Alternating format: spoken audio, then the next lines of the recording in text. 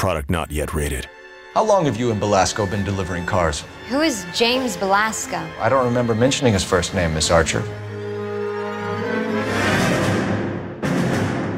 Detectives, another stolen car. I bought the car, and I've got the paperwork to prove it. You knew the car was dirty. You got some way of proving that, Sonny?